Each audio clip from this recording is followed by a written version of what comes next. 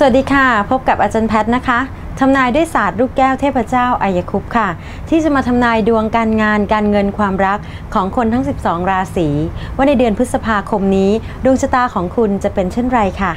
สำหรับท่านที่เกิดในราศีพฤษภนะคะ ประจำเดือนพฤษภาคมนี้ค่ะ ลูกแก้วของเฮเฟทัสเกิดขึ้นนะคะ ชาวราศีพฤษภนะคะ มักจะต้องทำงานใน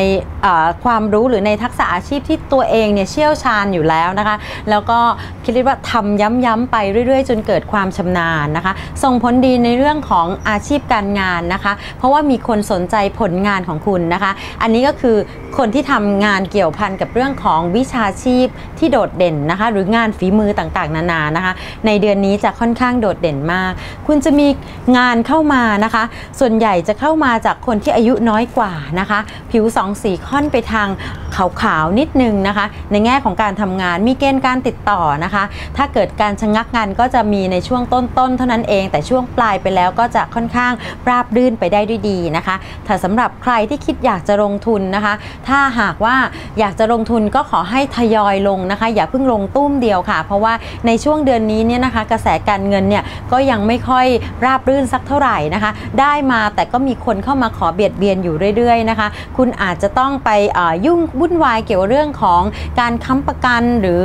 การช่วยเหลือญาติพี่น้องนะคะ หรือมีคนเข้ามาขอเบียดเบียนเงินทองของคุณนะคะ แต่ก็ช่วยตามสภาวะของอตามสภาพของคุณนะคะ อย่าพยายามช่วยมากจนเกินกำลัง เดี๋ยวจะเกิดเป็นปัญหาเข้าได้ในช่วงปลายๆนะคะ ส่วนในเรื่องของเกณฑ์การเงินเ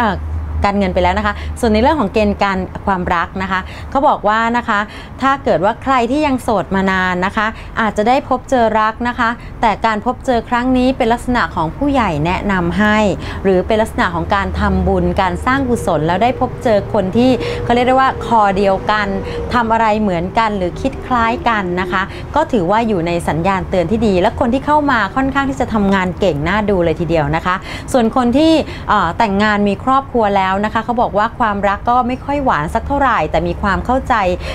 ให้กันต่อให้กันและกันเนี่ยค่อนข้างเยอะนะคะ เพราะฉะนั้นชักชวนกันไปสร้างบุญสร้างกุศล หรือทำสิ่งดีๆ ร่วมกัน ด้วยการไปบริจาค